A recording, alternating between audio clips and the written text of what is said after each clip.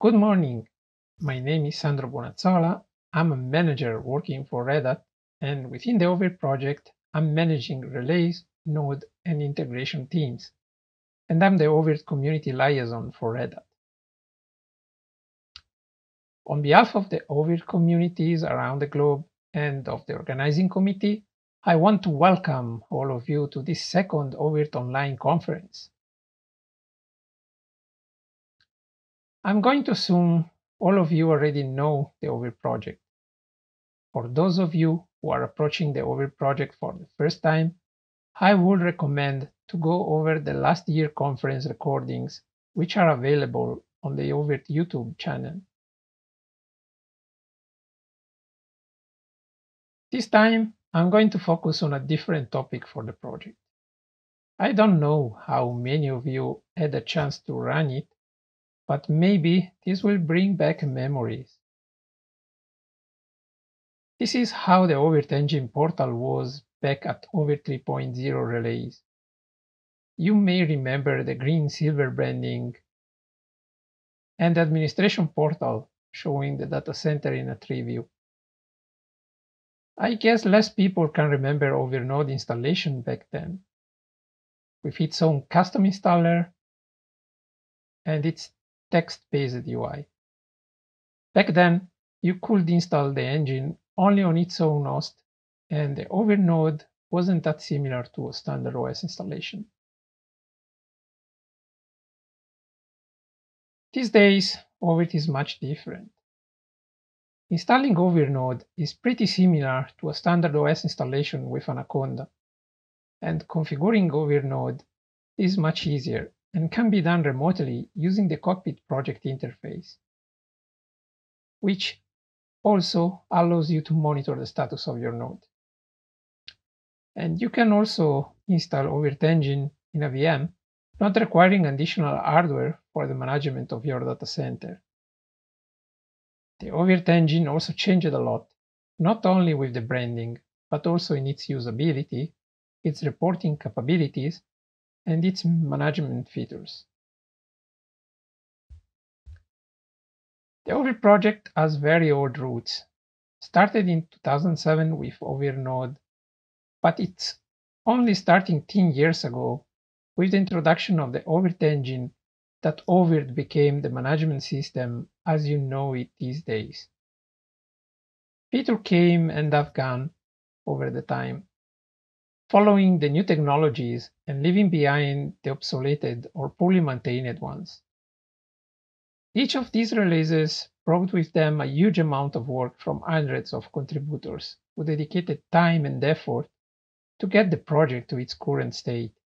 And I'd like to thank them for all those work and encourage you to join them making the project even better. Ovirt project development is driven by community. It's driven by you.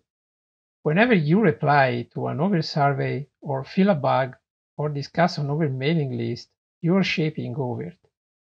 It takes a considerable amount of time and effort to keep these channels monitored, collect idea and reported issue, and organize them in a trackable way within a tool that can allow you to plan action upon them. When a new release starts, most of the planning work is about taking decisions on what needs to be addressed first, what can wait, what impacts most of the users, and what's a corner case. Someone will be happy, someone will be disappointed, but there's only a limited amount of things that can be handled in a release. For each of those Bugzilla entries, a set of patches are prepared by developers reviewed by peers, then manually verified, and then tested by automation. And those automation tests needs to be written, updated, and maintained.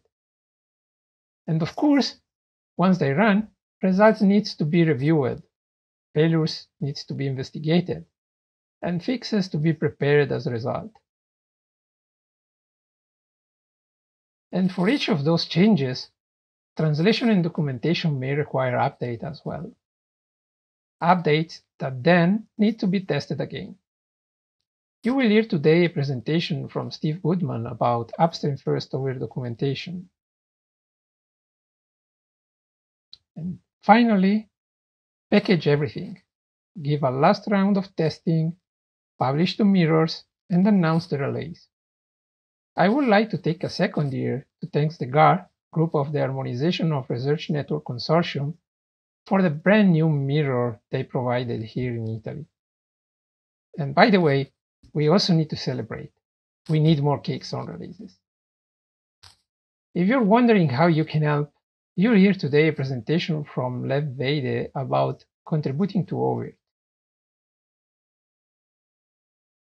So, now that you know how Ovirt is made, I would expect you to join helping out with the planning of the next release. Back in January, I wrote a to user mailing list about current plans regarding Ovirt 4.4 and 4.5. Back then, we were missing a substantial feature set to be planned to justify a new 4.5 version. And starting in 4.4.6, the Ovirt project switched to CentOS Stream 8 as base platform for Ovirt. I keep seeing questions about when Ovirt will switch to Rocky or Alma Linux, so I want to take the chance to remember you that despite Ovirt is developed on top of CentOS 3.8 and we consider it stable for production workloads, you can still install Ovirt on Red Hat Enterprise Linux or any other derived distribution. The only issue is that you may need to wait for the next release of those distributions in order to be able to consume some of the Ovirt new feature. You will hear today a talk from Alma Linux project about Alma Linux being a new path for CentOS and an old friend for Ovirt. So the current state for Ovirt is that the current software stack relies on what described here, which is included in Ovirt 448 content. We released it in August. And you wonder what's next? Well, developers are now exploring CentOS Stream 9 support but it has not been decided yet what to do with CentOS Stream 8 once we will have CentOS Stream 9. The current Ovirt infrastructure may not be enough to keep maintaining both. Also, the community is showing interest to ARM64 support, and the Ovirt team at Red Hat will be happy to help getting this in, but the project is lacking the hardware to test, and the current contributors lack experience with that architecture. As I already said, community has the power to shape Ovirt. I'm looking forward to see it happening with this release. Now, let's see what's new since last year. Ovirt is a global community who counts more than 1,600 people in the main Facebook group but it's also reality of local communities around the globe which are growing. The increment that you see here is compared to September 2020. I'm happy that community leads joined the organizing committee preparing this conference as in the past year. And I would also like to welcome the Ovirt Vietnam community, which opened their Facebook page in July this year, and the Chinese community, which seems to be silently around for a while and pretty active in China. I would like to encourage those community to reach out to user mailing list and get engaged for the next year conference. And about the product based on Ovirt, you already know about the historical downstream for Ovirt project. No need to mention them. I tried to reach out to other downstream, but nobody replied so far. So if you're shipping Ovirt rebuilds, your company is missing here. Let the Ovirt project know about you. Let the user know about you.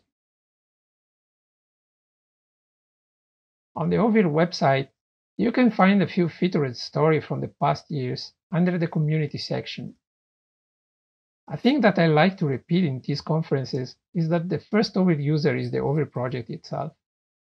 In Ovirt Project Data Center, we are running it on 9 data centers 15 storage domains for 11 hosts with 134 VMs. If you want to share your story, feel free to open an issue on the oVirt site GitHub, and we'll help you publishing it. Ovirt and its derivatives are used by several companies for different purposes.